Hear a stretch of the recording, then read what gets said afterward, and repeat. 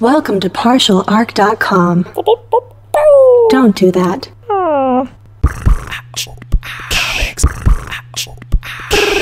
I'm here to save the day. I'm here, here to save the day. Soon I will be invincible. Because, because, because, because comics. Welcome to Because Comics. This is episode 59. I'm your host, Jay Jones, and I'm joined by my co host, the government sanctioned Mike Christensen. I exist for your benefits. yeah, Mike, how are those taxpayer dollars working for you? They are providing the service that I provide. Yeah, you protect the, uh, I guess, the construct that is America? We don't need to get into specifics. I'm here for your interests. Wow, wow. I mean, so specifically, what are you going to be doing for the community? America, Okay, yeah, you seem to just be on a. patriotism. Oh, wow, okay. Yeah, they really did a number on you. I Um, have an eagle. There's a chip on the back of your head. Don't touch it. Okay, okay, okay. We'll just, you know what? We'll talk about comics. How about we do that? Jay, Jay, what are you reading? What comics should we check out at the comic book shop, Sure, digital or otherwise? Well, the comic I'm reading lately is by Dark Horse called Black Hammer. It's written by Jeff Lemire and drawn by Dean Ormston. Now, it is a pretty fun comic, guys. There's only one issue out at the time of this recording, and by the time you're hearing it, who knows what you're doing in the future. But the comic is simple. It's basically about a group of old timey Golden Age heroes, none that we know of. These are all made up for the story of this comic. Um, and they've, for some reason, retired. It's been about 10 years since these heroes have taken up their crime fighting and fought for truth and justice. And we find them basically in this first issue on a farm, a farm somewhere in some remote town. We're not really given any information, and it's very vague. It's very vague on purpose. A lot of reasons why they're there, the reasons how some of them look why they're there, and the reasons for their absence. And it's all very vague and interesting, and, and Jeff Lemire does this very, very well. He did this with his Vision Run, still doing it with his Vision Run, which uh, I also reviewed on this podcast. And it's that slow creeping sense of, okay, you know, waiting for that other shoe to drop, the essentially penny, yeah. Like what has happened to this team. And I have to describe this team, and I'm going to describe it as the first page of the comic describes this team, which as soon as I read this, I knew no matter what, I was going to love it. And this might be all you really need to hear about the comic. And when you open the first page, it says, you know, the name of the comic, Black Hammer. In the top left hand corner, it says, they were the greatest heroes of a lost era. Golden Age crime buster Abraham Slam, interstellar adventurer Colonel Weird, and his robot sidekick Talkie Walkie. Barbar. oh yes, Talkie Walkie. That's the best. it gets better. Barbalian. That's right, Barbalian, warlord from Mars. Golden Gale, America's super sweetheart. Madam Dragonfly, mistress of the macabre, and Black Hammer, the invincible champion of the streets. But the age of heroes has passed, and it leads right into the comic from there. Now, guys, if that doesn't do it for you, if Talkie Walkie and Colonel Weird. Colonel Weird. and Golden Gale And Madame Dragonfly. America's sweetheart, and uh, you know, I mean, just Abraham Slam. That's his name. His name is Abraham Slam. People in the town call him this. It's awesome, guys. And there's enough mystery and crazy stuff to unpack in this very first issue that I'm 100% hooked. And there's that charm of the Golden Age heroes that's definitely there with a lot of that wit and, you know, dark humor that Jeff Lemire does very well in this first comic that I'm very intrigued to see where it goes. And I think you guys should definitely check it out. So, guys, that's Black Hammer. Mike, what is your pull? My pull is the unbelievable Gwenpool from Marvel Comics. Unbelievable Gwenpool. This is written by Christopher Hastings and art by Gurihiru, who did the art for the Avatar: The Last Airbender comics. If you guys have read those and remember my recommendation of those, um, and it's okay. So it is not Gwen Stacy. That's the first thing I need to say because the reason I say that is because when Spider Gwen came out and came back, Yeah. there were a lot of variant covers of like Gwen as everything. This is not Gwen Stacy. This is a girl named Gwen Poole who is from our world. She's from a Wait, world she's from the world where we have like the Marvel Cinematic Universe Yep. and like DC and comics. She she she's a mo- comics fan. She's a big Marvel comics fan.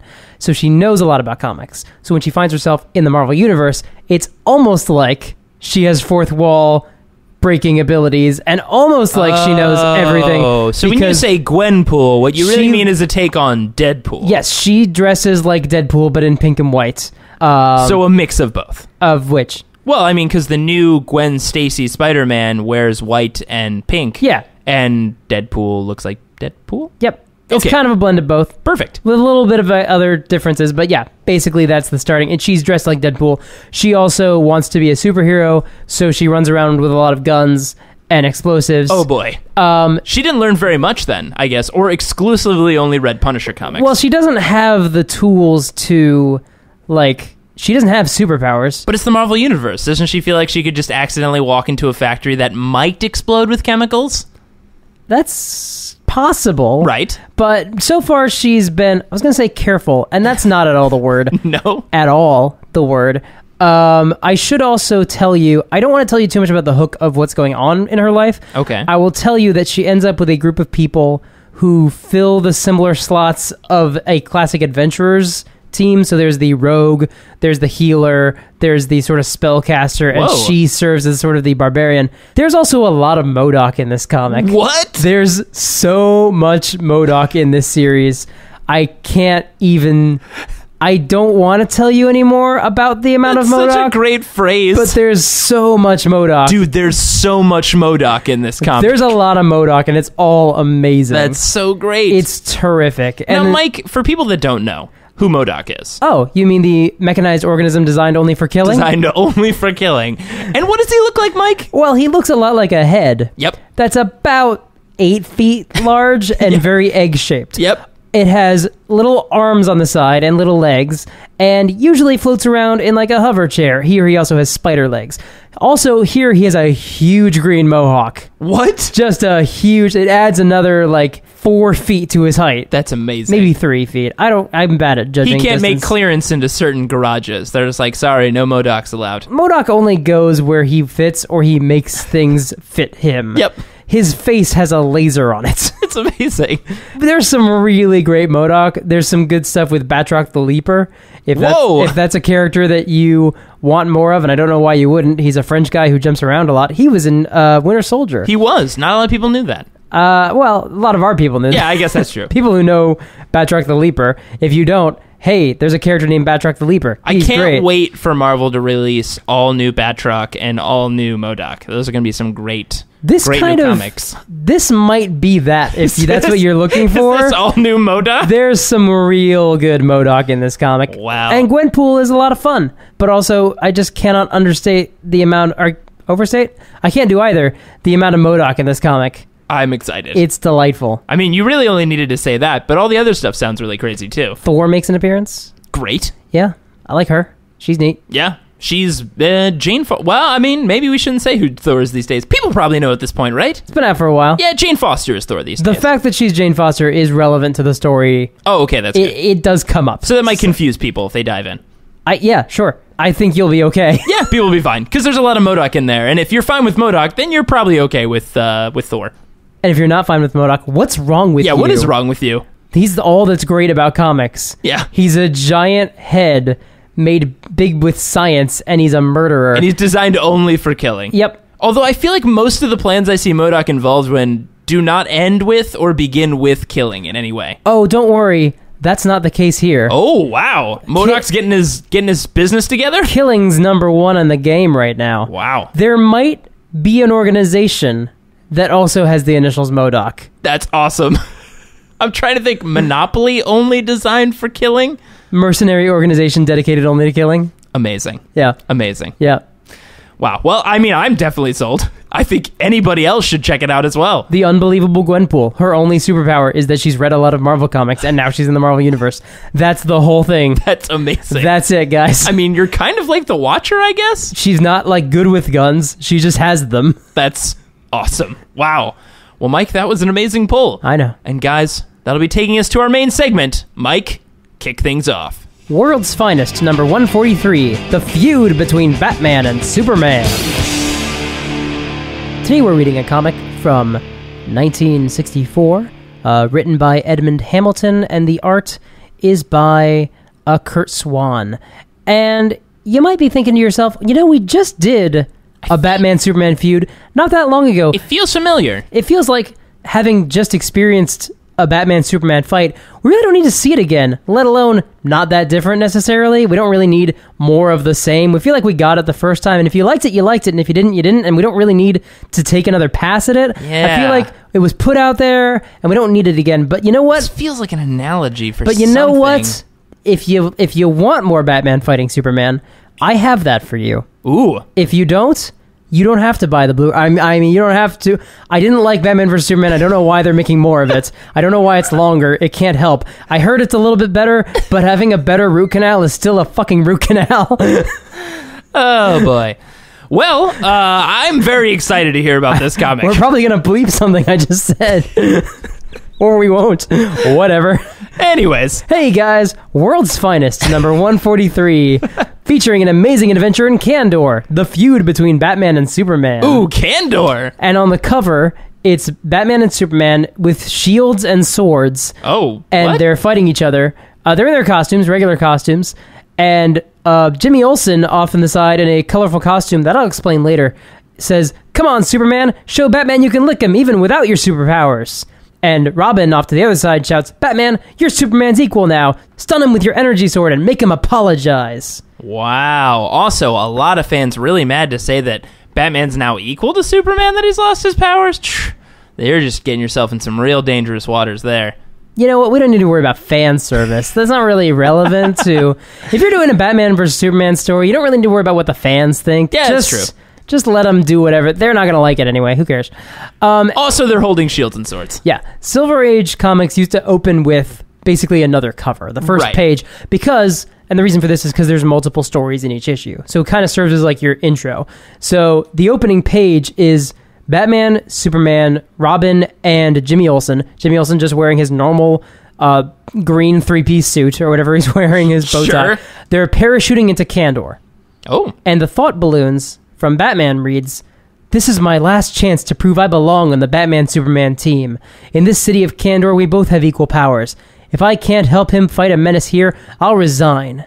And Superman thinks, Poor Batman. He doesn't know I arranged a fake menace here for him to overcome to build up his confidence. Aw, Batman's having a rough, rough couple days, huh? Well, we're going to flashback. oh, no. the- Before we flashback, Okay. maybe we should give a little context of what Kandor is. Oh, oh, we'll get there. Okay, perfect. We'll get there.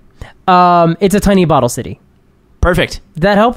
Yeah, it did. I don't know. Um, a night over Gotham City, a vital Batman and Robin case reaches its climax as Batman is chasing these hoodlums into a doorway on a roof. Ooh. And Superman notices, hey, this thing's happening, and he flies in to protect Batman from the bullets, which is a nice thing to do. However, one of the bullets bounces off Superman and hits Batman. what? hits him in the uh like he, the the gut, like right in the stomach. oh, no. And stomach wounds are not great for No, people. they're not good. It's not if you want to get shot, I don't. But if you're gonna get shot, the stomach is not the number one place you want to get hit. Definitely not. A lot of organs in that area here. Yeah. So Robin takes Batman back to the Batcave. Uh, Superman takes the criminals to jail and well to the police. They will then perform due Take process. to- what- yeah. Whatever the thing. Then he goes back to the Batcave and like you know he's not responding to the medication. he's Oh, no. it's not going well. So they dress him up like Bruce Wayne. They say he was shot in a hunting accident. They take him to the hospital. It's very Batman of you to say they dress him up like Bruce Wayne. Yeah. Yeah. Yeah. Yeah, It I didn't- works. I didn't mean for that, but that's yeah, that works. It Yeah. works really well. And they watch the operation, and Clark can tell with his X-ray vision the operation is successful. But when Bruce wakes up, and Clark says, "Yo, you'll be fine. You'll be fit to go into action." And Bruce Wayne, by the way, Bruce Wayne Yeah. in his hospital bed shouts, "No, I'm resigning from the Batman Superman team, and Robin with me." Thank God he's Bruce Wayne. He has a private room, right? Right. That's like- crazy to yell in a hospital. Well, also like you are under painkillers when Uh-huh. you like. I had a friend who had uh, surgery, and when he came out of it, they're like, "Oh yeah, it took a little longer," and he just started swearing. He's like, "Those lying mother!" And it's just like, "Oh, he's very high right now. Wow. he has no The idea." Inhibitions are completely to the wind. Like, and he was like, "Why did I say that?" And I was like, "I don't know. Why did you?" Um, I like that he's like, I'm resigning from the Batman Superman team. Yeah, I know. And also Robin. Like, Robin's like in the background, be like, dude, what? No. Look, that's a very responsible thing. If you're taking your child into danger with you, at least like resign him along with you. I guess I, think that is like, look, you shouldn't be taking your kid into danger. I'm gonna be honest. I would love to see the adventures of Superman and Robin and Jimmy Olsen. and Jimmy Olsen. Just Robin being like, man, I'm going to be honest. I feel really out of place here, guys. Uh, Bruce says, "I'm not in your league, Clark, because they're still in the Super Friends." Womp womp. No, I'm kidding. Um, you're super, and I'm not. I'll always be a handicap to you because I'm just an ordinary human. You'll be better off on your own, not having to worry about rescuing Robin and me. And Clark doesn't want to hear any of that, and he's trying to talk to Robin, trying to figure out how he can restore Batman's morale. And he says to Jimmy later, I'm certain Batman would get over his inferiority complex if he were my equal in everything. There's one place on Earth where he would be, since I don't have superpowers there. And Jimmy Olsen realizes the Bottle City of Kandor. Now, for those of you who may not know what the Bottle City of Kandor is, it is a city from Krypton that was shrunk down, made very small by Brainiac. And Clark has never been able to figure out how to make it big, so it's just in a bottle in the Fortress of Solitude. It just hangs out with him at his house. Yep, and it's full of people. People are living there, tiny little Kryptonians. They don't have powers because there's a red sun uh, simulation, basically. Keeping the city environment going, or Yeah, yeah, because there's there's like parks and things too, and there's Yeah. there's a little bit of wilderness around it. So because there- there's whatever needs to be in a in Kandor for a story. Well, I mean, if you're going to shrink a city down, I mean, give it some recreational spots, Yeah, yeah, maybe yeah, like a vacation look, you need- area. look, let's let's be fair. Things need to flow somewhere. Right. Not everything can just sit under the city forever. there good. needs to be an out. There's gonna they're gonna lose that space real fast. yeah, a lot of methane in that bottle. Oh boy, um, So the Superman. dark truths of Kandor. Look, thank God there's Kryptonians, and they probably just delete everything. There's some kind of technology that takes care of that business. Um, Superman and Jimmy call Kandor. They call into their allies there. Superman mentions his friend Thanar, who is an official of Kandor and will surely aid me. And they have this conversation. Thanar's brother uh, Janar is there, and he's and he answers, is, of course, Superman. This is my brother Janar, but he won't mind excusing us." And his brother says, "Oh well, if it's so secret, I'll leave." and literally, that's his line of dialogue, and he walks away. And he walks out of the comic forever. Yeah, he walks out of the comic. He's got, by the way, uh, greased back hair and like kind of a goatee, but I'm sure he won't be important later. I'm sure. Um, and Superman asks Thanar to create a fake menace in Kandor, which Batman can help fight and defeat.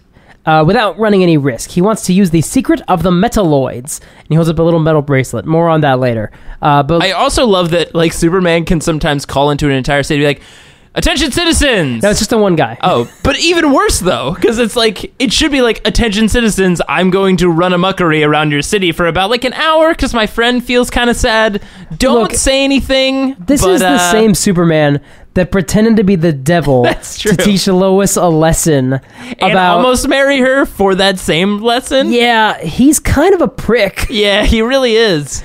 Um, anyway, it's this old Kryptonian science, the metalloids, that they haven't used in ages because it was too dreadful. But if it's only a hoax to make Batman look good, of course I'll cooperate, Superman. Yeah, yeah, yeah. We'll we'll totally take this nuclear bomb out if it's gonna make your friend feel better. It's not nuclear, it's something else, probably. It's the most dangerous threat they just said. it's a very dangerous threat. It was a horrible threat, but it's fine. I'm sure it's fine. Everything's fine. Everything's gonna work out just okay. all is going to be well. Uh, this is the story where Batman and Superman die. Uh, no. Ooh, foreshadowing. Why would you kill Superman in your big crossover? That'd be dumb. That would be silly. Um, anyway, you know, Robin's trying to rouse Bruce from his listlessness, but he's he doesn't really want to. But you know, Robin kind of guilts him into it by saying, "Look, Ace the Bat Hound wants to come with us."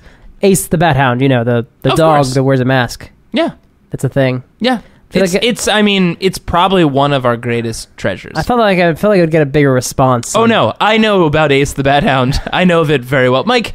I love Batman. I know, all right? that's I accept true. all things. I know about Bat Cow. Not a lot of people do, but I know about Bat Cow. Bat Cow, uh, yeah, Bat Cow uh, exists too. a lot of people being like, Bat Cow? I feel like if you watch like the Batman Beyond show, you knew about Ace. But Ace didn't wear a mask in that That's show. true. But like Bat Cow, a lot of Google searches for Bat Cow. it's really just the one picture, though. Yeah, I guess that's true. he was in like one comic. you could probably get it. You know, a cow that just has a mask on. Does it even have? I thought it was just this, the spots. yeah, spots. the spots just look like a bat. It's true. But it'd be cooler if he had a mask. Would it though? Anyways, about this city of Kandor and this crazy menace. Anyway, Superman shows up right as Batman and Robin and Ace are changing into their costumes.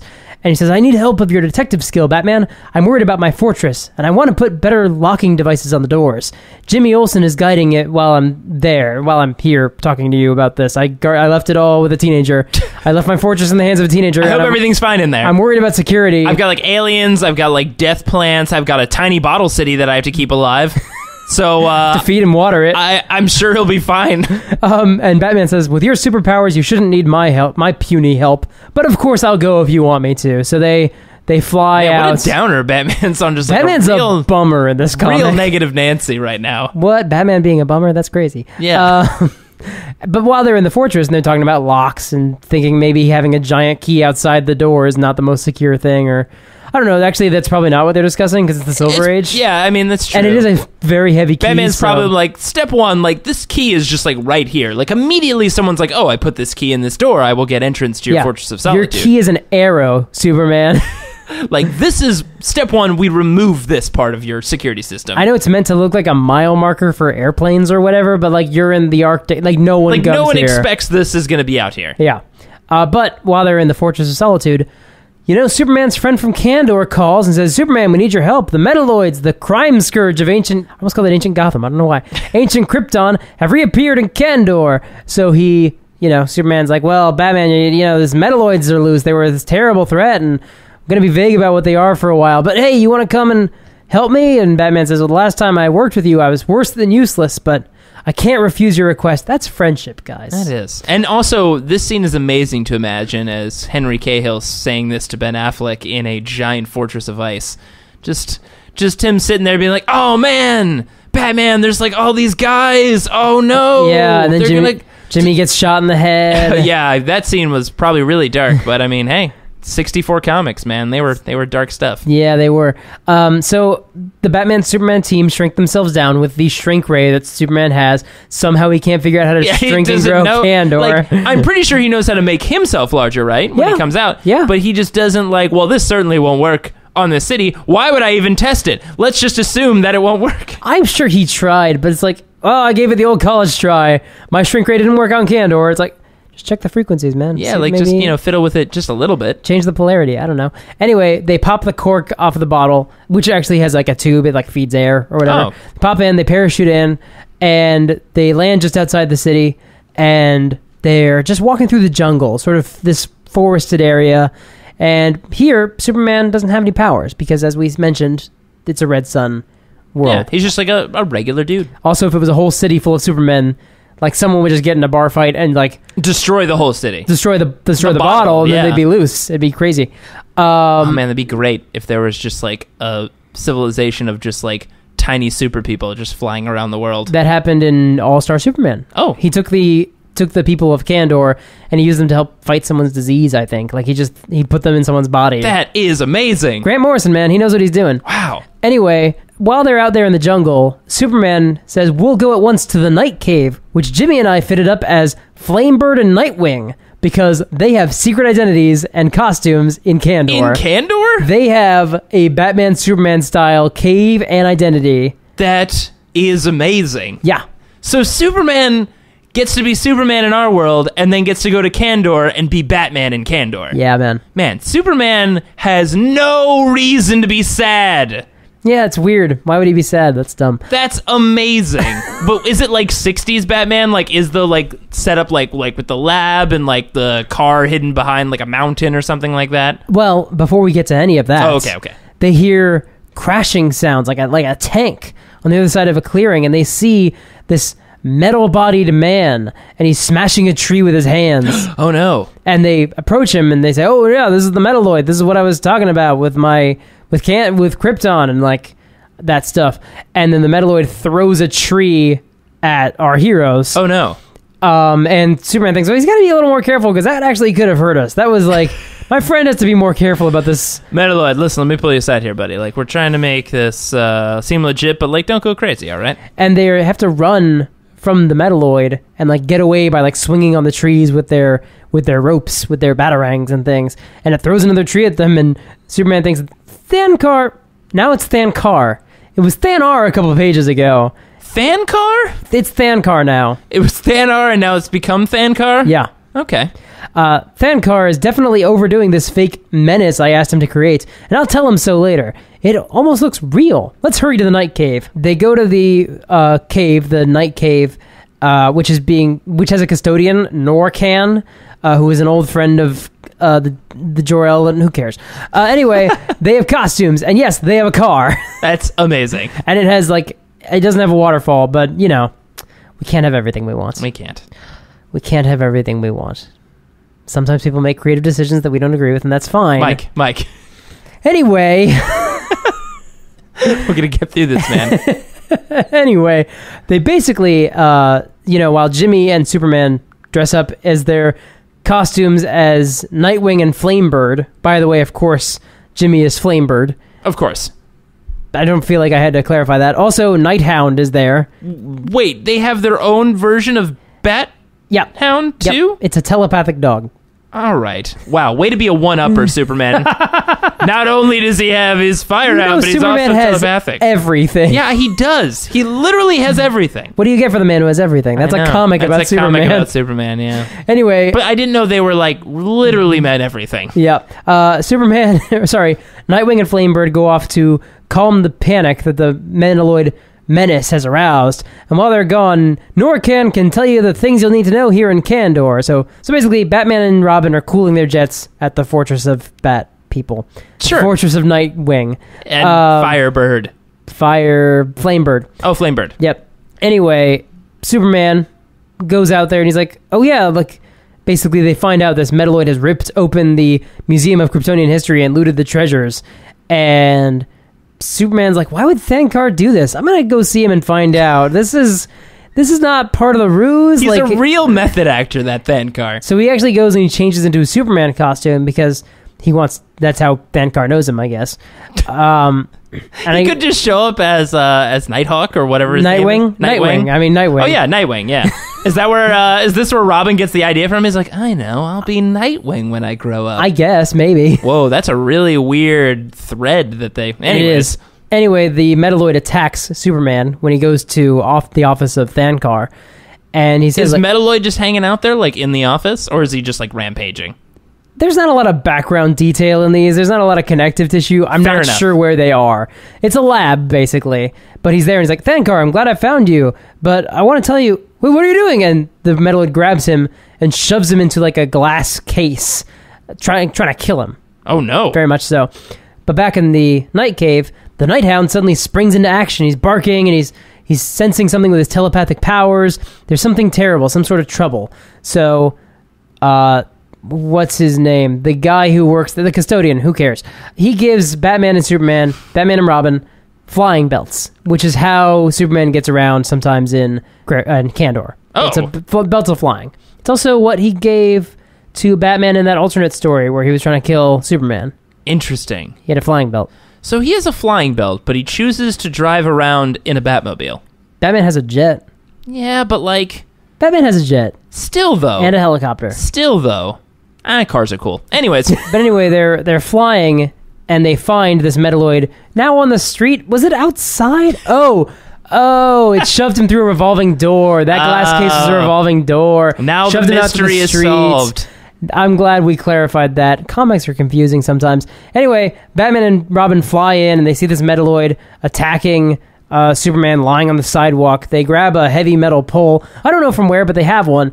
Uh, Perfect. I think it was like one of the things that's holding up the awning, but for like the hotel. What room? I'm telling you, Charles, we're gonna make a killing in the city with these giant metal poles. They push back the metaloid. It runs away, and uh, Flamebird says, "Superman, I followed you here after I calmed the people down.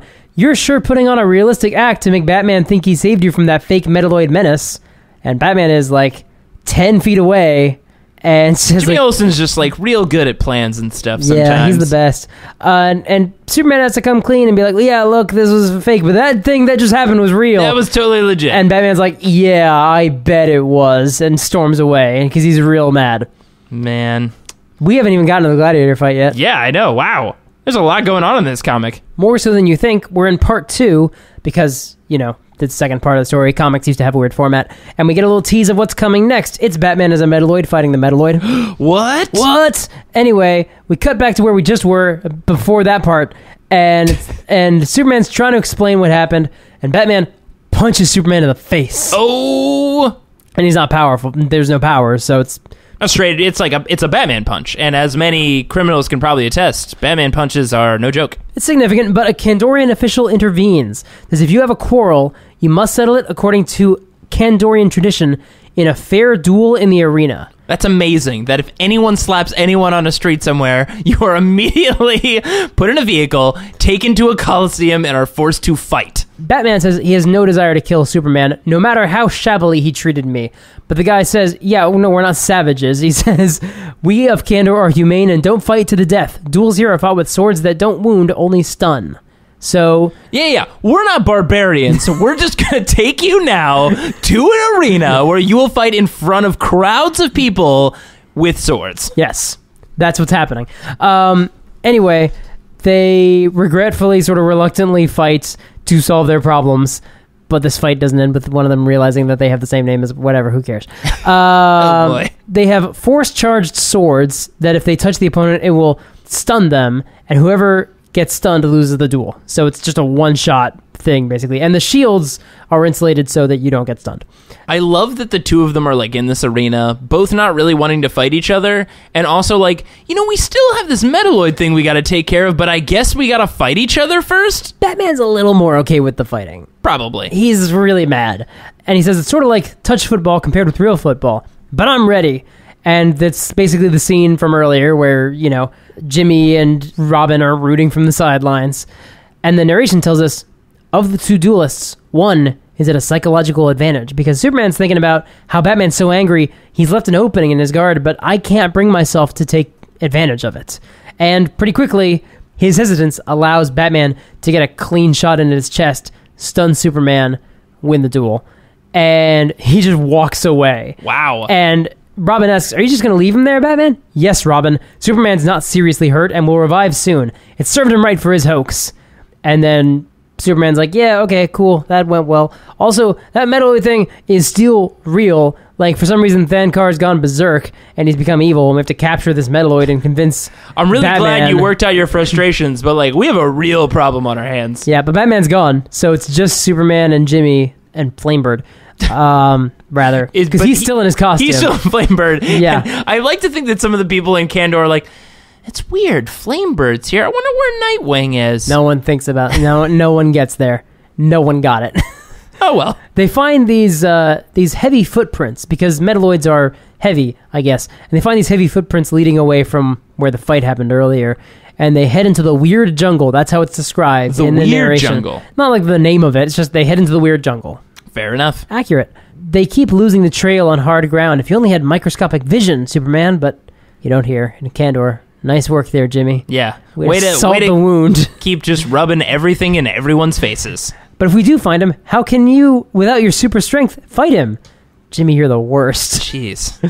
Um, but Superman says the ancient Kryptonian wristlet he is wearing under his costume is what turned him into a mighty Metaloid. If I remove that, he'll become an ordinary man again. They find three Metaloids. Oh boy. And and he shouts, Get away while you can, Jimmy! By the way, he shouts Jimmy, not Flamebird, but whatever.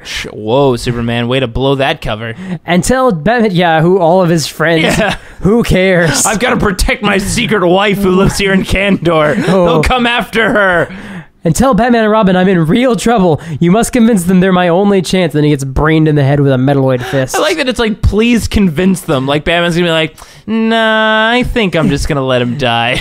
And he runs in, you know, Jimmy runs into the night cave, and Batman and Robin are there. He said, We're only here to return these flying belts. We're going to leave Kandor. And Jimmy's like, No, please.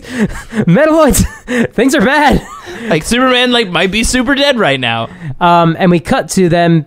They're convinced, I guess, like, because they're not morons. Sure. Because Batman studied criminology and he probably knows when people are lying and stuff. Who cares? Yeah. But they go out into the jungle and they don't find any trace of Superman or the Metaloids. Oh no. If only the world's greatest detective was there to solve it. and he has an idea. Maybe Nighthound can lead us to Superman by tuning in on his thoughts. Oh, come on, Batman. You're letting the psychic dog solve this mystery for you? How did you say that sentence and not think it's fantastic? I mean, it is fantastic, but like, uh, anyways. It's a psychic dog. He's Batman, God damn it! Let Yeah. him solve one freaking mystery. if he had look, I know you're mad that Batman's never a detective. he in- never solves any mm. mysteries ever. It's the It- Ugh. in comics and a couple TV shows he does. he does in a couple TV not shows. in movies ever. That wasn't just a jab at Batman vs Superman. It's just guys. most It's a movies. He lot. doesn't. He never solves mysteries. His in mystery Batman solving movies. plans is punch as many criminals until one of them tells me something. or shoot bullets at bricks. oh boy. Anyways, I like that scene.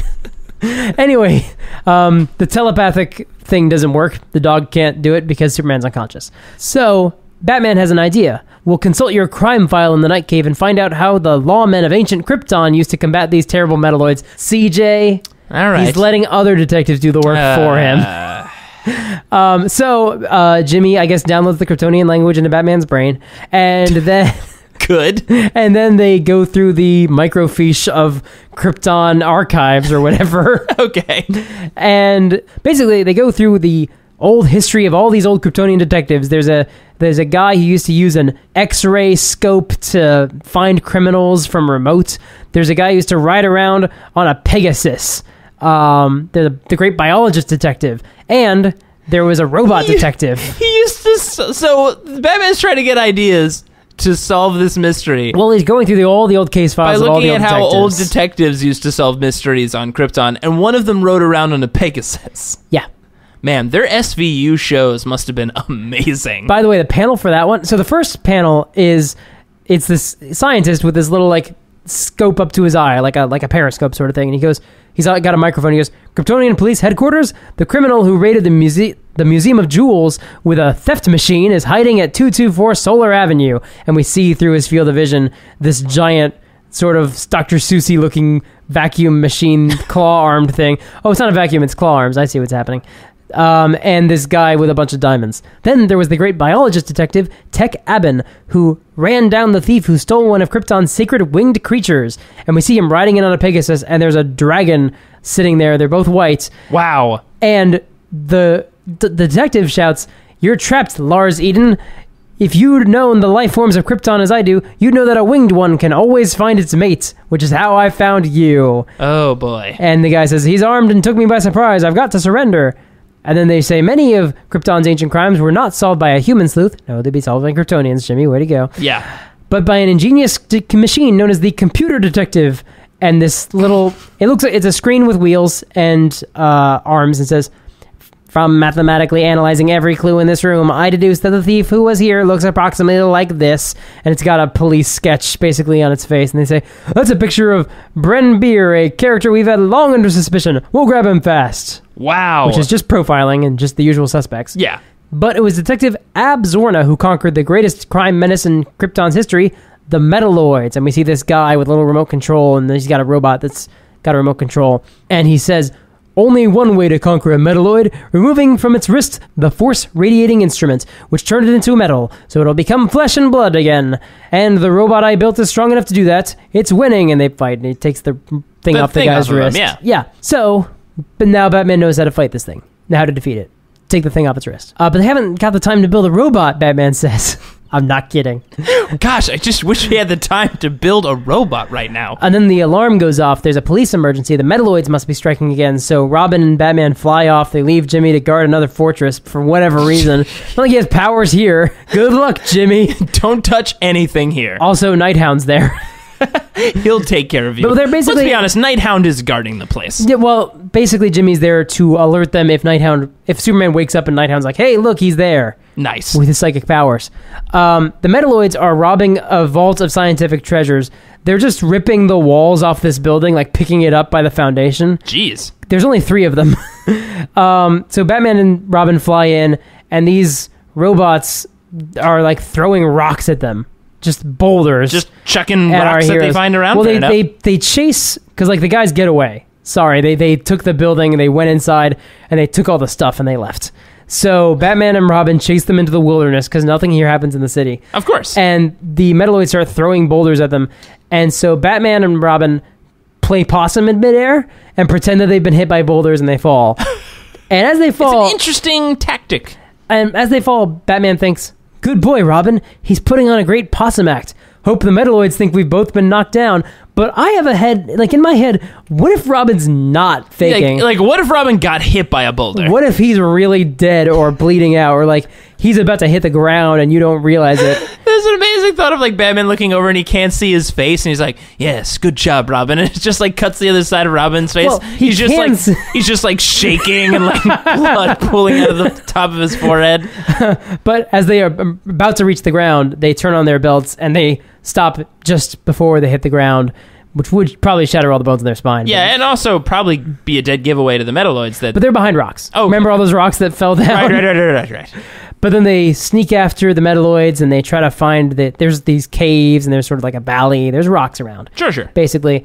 And so Batman strips off his mask and cape, and when they see a metalloid, he drops a little stone on it to basically have them draw them out so they can investigate.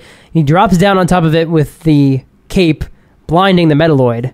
And Robin steals the wrist bracelet off it. Batman takes it and puts it on so he can fight the other two Metaloids, Ooh, which he totally does. nice. It's and then once he knocks one of them out, Robin puts on the other one. He becomes a Metaloid, and they fight the last guy. And they take their wrist things and they unmask them. And sure enough, it's that guy from before, which guy? The Thangar, the guy who has two different names. Janar.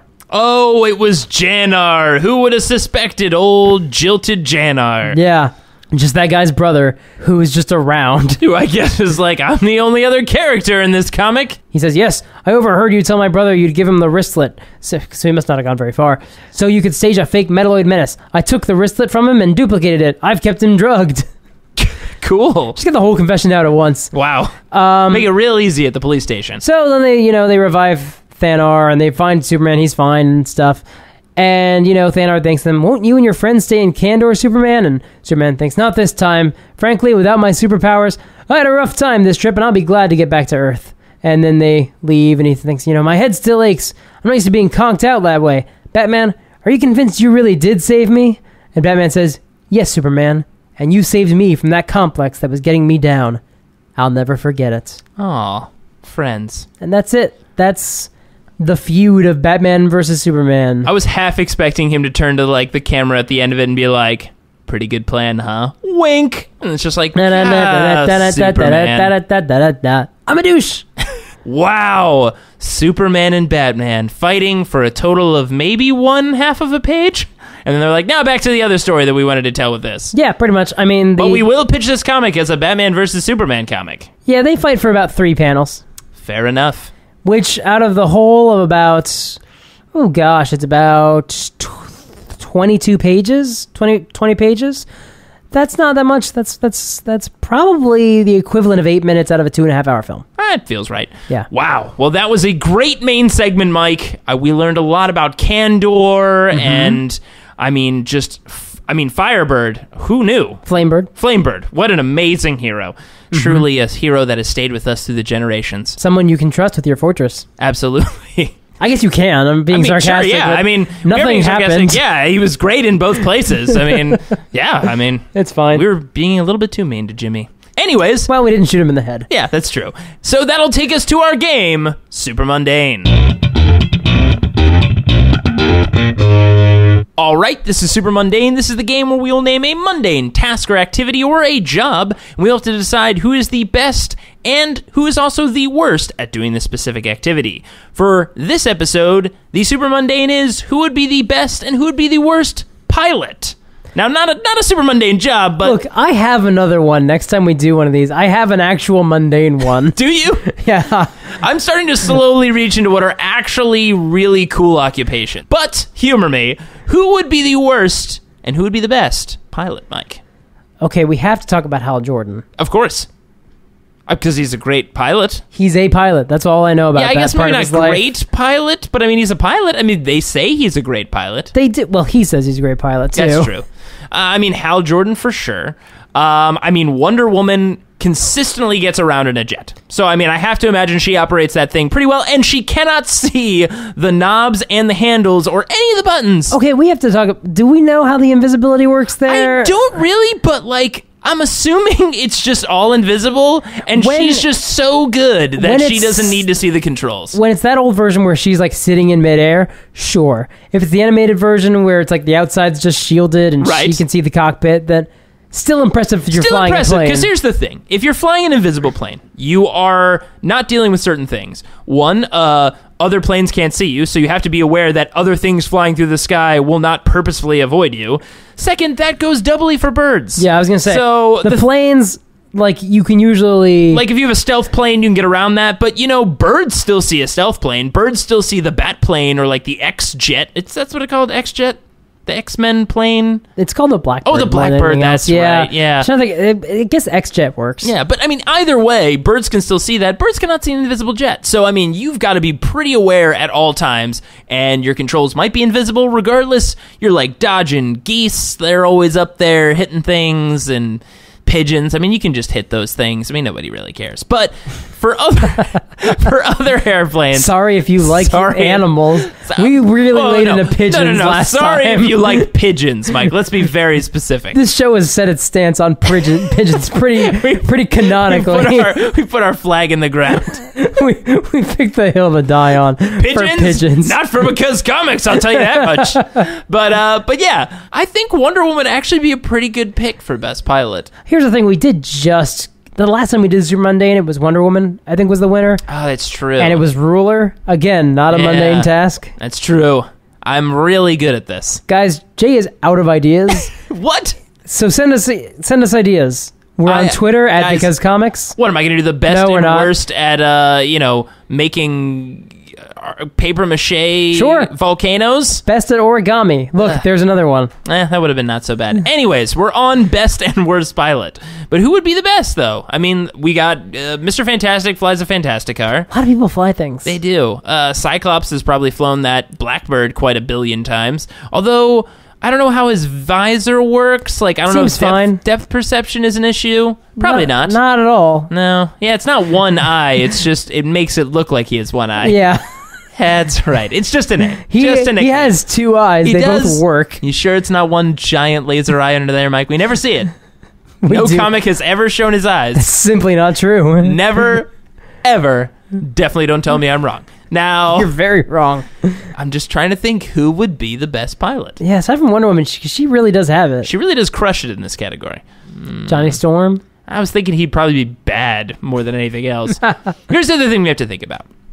I'm thinking of a pilot. So, a pilot of a full, you know, normal. Now, is this a passenger jet? This is a passenger jet. Okay. So I'm thinking not like going into battle, like a pilot who's just like you're getting on a plane, you're flying from LA to like Austin or wherever you're going, um, and you just need a pilot who's not only competent, someone who's good in the air in dangerous situations, also who can get on the horn, you know, get on the radio when you need to, and be like, hey everybody, going through some bumpy weather. Just relax. Somebody who is calming and somebody who is also competent at being a pilot. oh man, the calming thing ruins it. Because I was about to suggest Spider Man, because he can sense danger when it happens. Oh wow, that's a very interesting choice. Spider-Man as a pilot.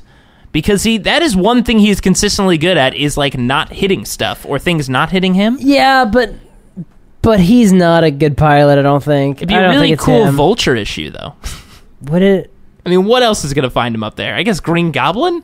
No, I think he's more interesting when he doesn't have wings. That's a side note. Whatever, Anyways, but- but uh so hmm who would be the best pilot that isn't just like immediately a pilot? Hawk. I'm- someone. Hawkman? Sure. Hawk someone? One of the Hawks. Hawk girl? Hawkman, Hawk Girl, Black Hawks. There's Hawks. There's a lot of hawks going on. Do they automatically get a pass because they're bird? I mean, Falcon? Are we just going to throw him in too? Batman, he flies a plane all the time, Yeah. Hmm. but he wouldn't be very calming as a pilot. Wouldn't he? Batman? Well, I guess he does a really good job as Bruce Wayne. So Yeah. just put on like the Bruce Wayne persona. And man, who wouldn't want to fly and be like, and our special celebrity pilot for today is Bruce Wayne? Oh no, pass. Wait, why? Because he's the male Paris Hilton as Bruce Wayne. Oh, that's true. He'd have to like hmm. drink half the time just Well, to like keep up the or if facade. just like he's the reputation, he's like, no, don't worry, guys, everything's fine. Be like, yeah, I'm not getting in this plane, man. It's just not happening. Yeah, like, that's true. Yeah, I guess Bruce Wayne wouldn't be a good one. He might be the worst though. Batman. Well, I feel know. like there are worse. Yeah, that's probably. I feel like I'm gonna give that. Oh, Ben Grimm. For what? For worst or best? No, best. He was a pilot. Oh yeah. And Ben Grimm's like really personable. Like if you're in a like a tough, tight situation and danger's going down, like Ben Grimm is usually a pretty calming force.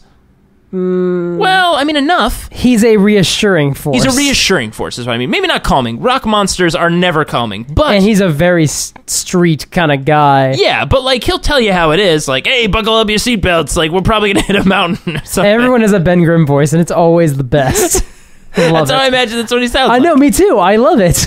but uh, but basically, like, yeah, like it, he's gonna tell you how it is. He's gonna keep you calm, hopefully. And talking about people who've actually like had to. He took a plane, took a government plane Yep. that he'd never flown before, took it in space, deliberately flew into cosmic rays. Like, Yep. I think they didn't mean for them to be there, but like that's not on him. Like Sullivan didn't mean to hit the geese, but it happened all the same. Fair enough. And then he flew it. He like landed the ship, even though his body was turning into an orange rock monster. I'm talking about Ben Grimm, not Sullivan.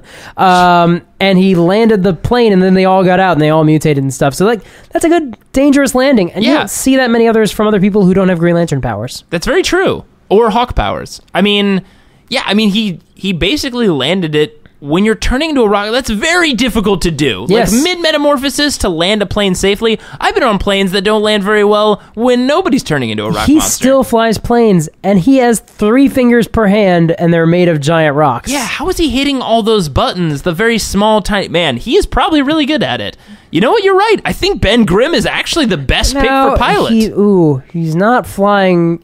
You just get a custom, you get a modified cockpit. yeah, I mean, look, you're gonna have to make some exceptions for Ben Grimm, but Oof, that's going to be a heavy cockpit. But here's the thing, like the Fantastic Four crew, they're all very public figures, so I'd fly a plane with the thing at the front. I mean, that'd be kind of exciting. Also, imagine him wearing like a comically large pilot outfit with Oh, a giant pilot hat. Giant pilot hat. Oh, all the rest are the same. Just Like everything else. But no, just he has to wear the uniform. he's got to wear the uniform. It would be awesome. It'd be a really cool, like giant snug pilot's uniform. He'd look pretty dope in that. I would read that comic. Absolutely. Ben Grimm. Best pilot. So, who is going to be our worst? Someone who they would trust with a plane because the credentials are there, but you probably wouldn't want them because they're not going to be calming, or at least they're not going to be calming enough. And mm, bad track record. I feel like Hal Jordan would just hit on all the flight attendants. That's true. He would get distracted. And ooh, Hal Jordan is a good pick. You know why? Because Hal Jordan is like a like a maverick. He is big on doing tricks Yeah. and going really fast, going upside down. Taking you on the highway to the danger zone. Exactly. He's going to be taking that passenger Hal Jordan plane. is Top Gun, right? I yeah. think we can just I mean, say we can that. all just say he's Top Gun. Uh, he is Tom Cruise from Top Gun. He's going to do weird, crazy stuff to impress like someone on the flight staff, and basically, you know, not really. Uh, or go or get back at someone who's like on the plane or in the tower and be like, Exactly. "Oh, you didn't think it would buzz the tower, did you? You were in a passenger jet. You really shouldn't do that." He'd be like, "Hey, everybody, have you ever seen Top Gun? Here we go!" and just fly right by the tower with "Today we're going to be at a jet. cruising altitude of right in front of the tower." It's uh, yeah, he would absolutely like all the credentials are there. He's Green Lantern. He's flown a bajillion jets. He is a pilot, a he test is a pilot. Yeah, like he's got the right resume, but he would not perform correctly. Because his job is to test the limits of the machines he gets into. Not have a very smooth ride and not hit on everybody in the possible area that he's around. So yeah, wow, Green Lantern, the worst pilot. Without context, that sounds really bad. But it doesn't sound untrue. True. Sorry, Hal Jordan. Well, guys, those are our picks. So we've got best is Ben Grimm, the Thing, and worst is Hal Jordan, the Green Lantern. A Green Lantern. A, that's true. Let's clarify. A Green Lantern. And that was episode 59 of Because Comics. We'll be posting a new episode every other week. If you'd like to download more episodes or check out other similar podcasts, head over to partialarc.com. That's arc with a C. Jay, other similar podcasts. What do you What do you mean? Well, I mean, there's something like, uh, well, Friday Night Quests.